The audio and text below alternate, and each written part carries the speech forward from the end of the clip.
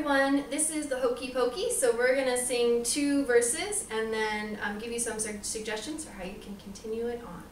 Ready? Mm-hmm. You put your right hand in, you put your right hand out, you put your right hand in and you shake it all about. You do the hokey pokey and you turn yourself around. That's what it's all about. Put your left hand in, you put your left hand out, you put your left hand in and you shake it all about. You do the hokey pokey and you turn yourself around. That's what it's all about.